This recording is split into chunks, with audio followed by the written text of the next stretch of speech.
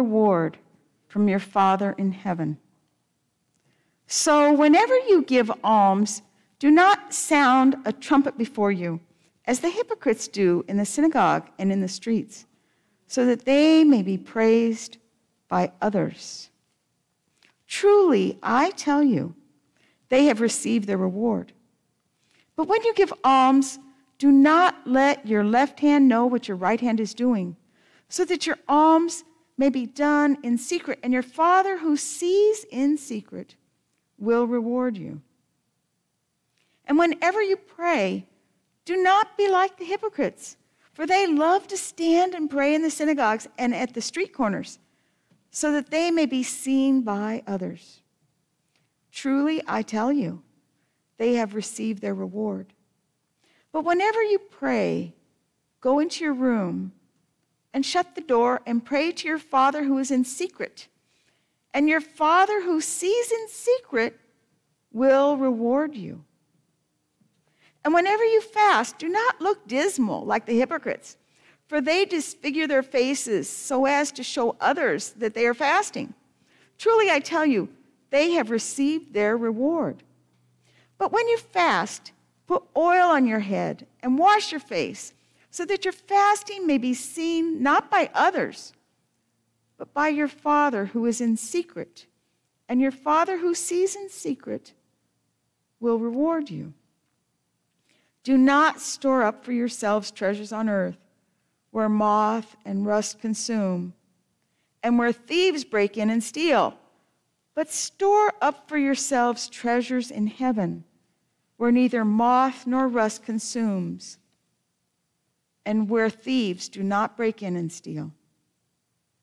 For where your treasure is, there your heart will be also. This is the good news of Jesus Christ. May the words of my mouth and the meditations of our hearts be acceptable to you, O Lord, our strength and our Redeemer. Amen.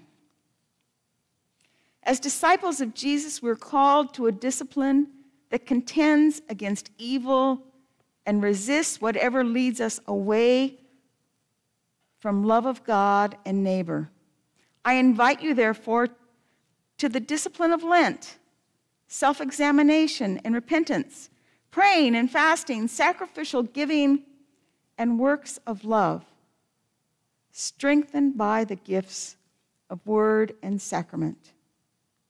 Today, you are invited to come over to the church between 1 and 2, and later between 6 and 7, and have ashes put on your forehead with these words Remember that you are dust, and to dust you shall return. This is a reminder from Genesis 2. In the day that the Lord God made the earth and the heavens, when no plant of the field was yet in the earth, and no herb of the field had yet sprung up.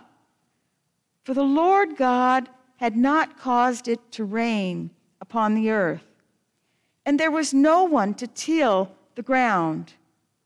But a stream would rise from the earth and water the whole face of the ground.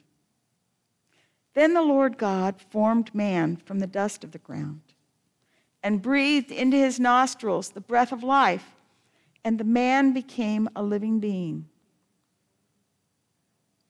Remember that you are dust, and to dust you shall return. The difference between us and dust is a little water that came upon the earth and the breath of life within us. Pretty humbling, huh? Remember that you are dust, and to dust you shall return. Traditionally, Lent is a season of repentance and sacrifice, a time of self examination and almsgiving, prayer and fasting. It's a time of reading and meditating on God's holy word. Lent is like a restart button on our lives, a chance for a do over, to make amends, to turn around, to make a right beginning, a time to straighten out our relationship with God. We think of Lent as a time of prayer and fasting. But what did we just hear in Isaiah? The people said, Why do we fast, but you don't even see?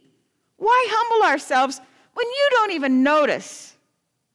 God just shook his head and responded, Look, you serve only your own interest on your fast day.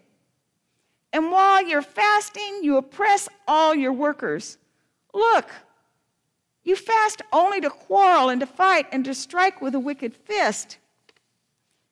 Such fasting as you do today will not make your voice heard on high. Is such the fast that I choose? A day to humble oneself? Is it to bow down the head like a bulrush and to lie in sackcloth and ashes?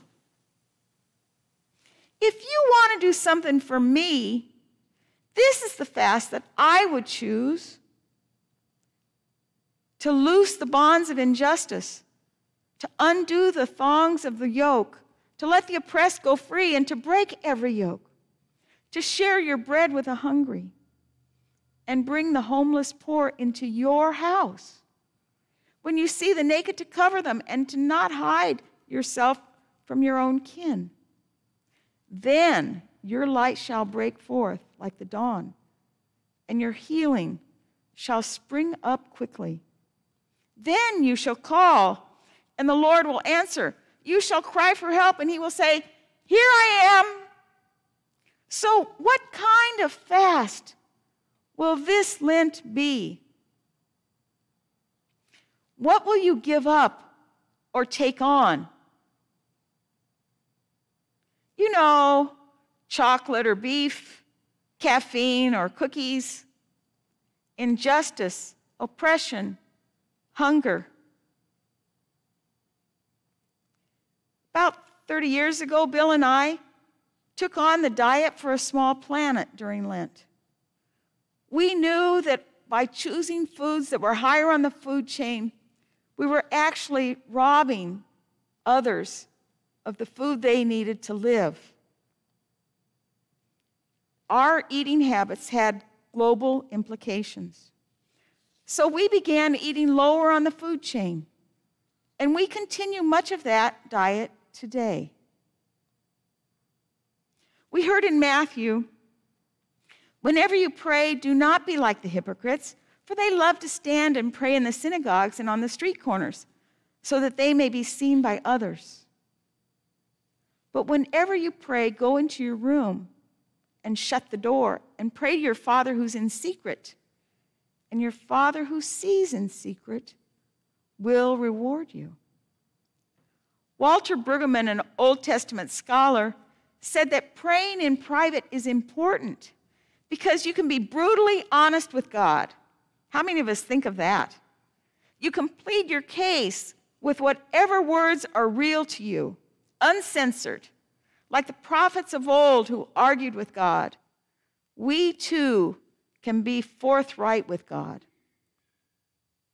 When I pray in public, I'm concerned about how I sound or my words right. What will others think of my prayer? When I pray in private, I begin, Hey, God, like I'm talking to a close friend. And then I have a conversation with God. When we pray in private, we can have an intimate, no holds barred conversation with God. Just like Moses on the mountain or Jesus in the Garden of Gethsemane. Jesus promised us in John 1:12 to all who received him who believed in his name he gave power to become children of God. That we are a child of God. We are heirs. You and I have that exact same connection with God. We are a child of God and can make our needs known so we can address God intimately, just like Jesus did.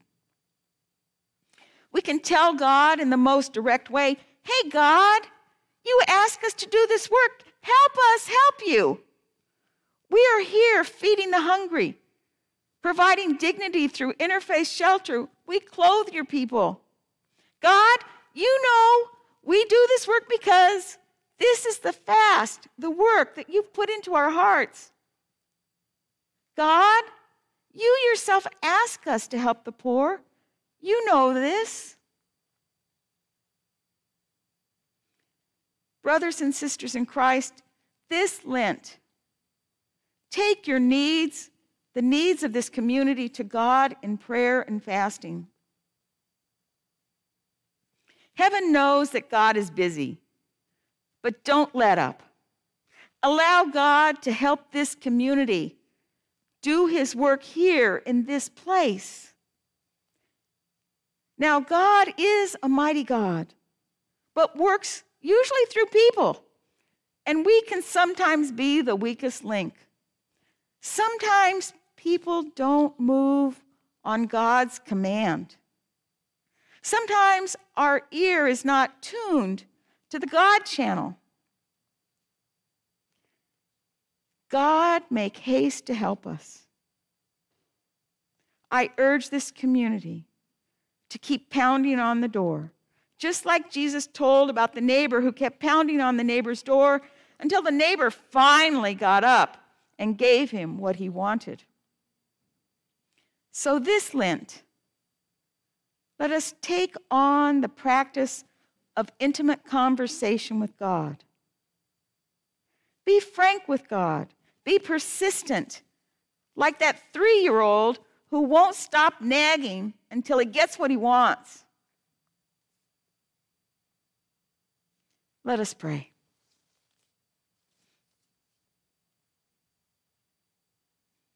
Hey, God, you know our needs, but we are placing them before you. It is our great joy to do your work from this place to feed those who are hungry and clothe those who are cold, to listen to those who are discouraged, to give joy to your children, to sing your songs, to give praise and thanks to you, to be your presence in this place. Sustain us in this work, we pray. And in the name of your Son, our brother and Savior, amen.